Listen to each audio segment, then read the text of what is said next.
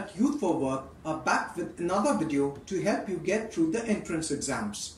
So we'll be taking up the common entrance test for admission in Bharatiya Vidyapeeth, deemed to be University Pune BVP CET examination.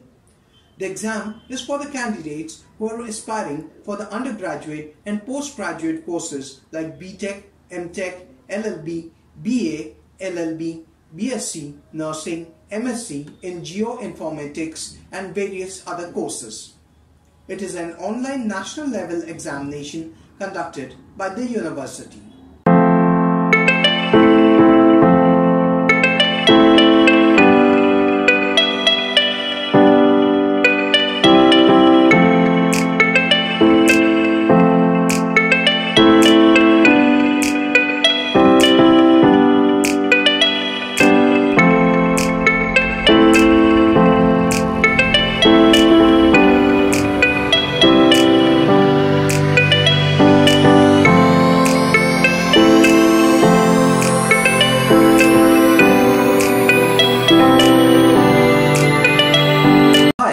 I'm Siddhartha Sari and we, we at Youth for Work will be discussing the eligibility criteria for this examination.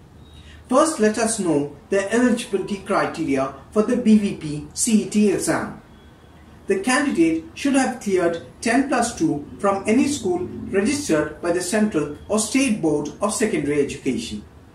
The candidate must have cleared the 10 plus 2 with science and maths.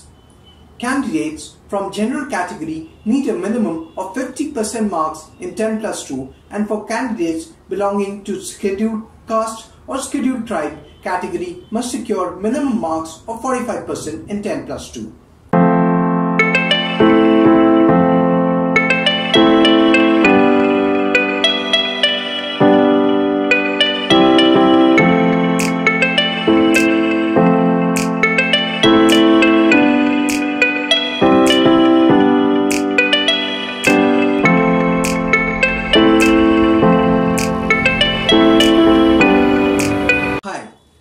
Video we'll be discussing the exam pattern for this exam. Now there are a total of 200 questions and these questions are divided into two sections. These two sections are physics and maths. Both the sections consist of 100 questions each. Each question is of 1 mark and there is no negative marking for any wrong answer. The total duration of the exam is 180 minutes, that is 3 hours, and there is no limit per section. So you can spend as much time as you like on the section you want.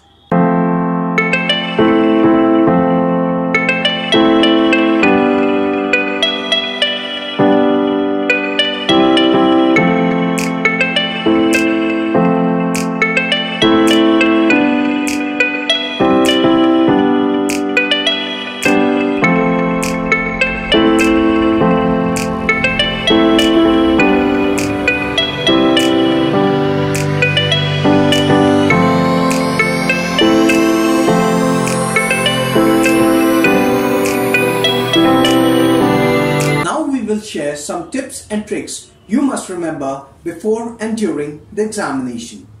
Your basics should be clear and strong. Time management is very important. Improve your speed by solving lots and lots of sample papers. Do solve last year paper to get an idea of the paper. Don't spend a lot of time thinking for an answer. If you are unable to answer a question in the first attempt, move on to the next question. After that, try attempting question that you are doubtful about. Try and attempt all questions because there is no negative marking.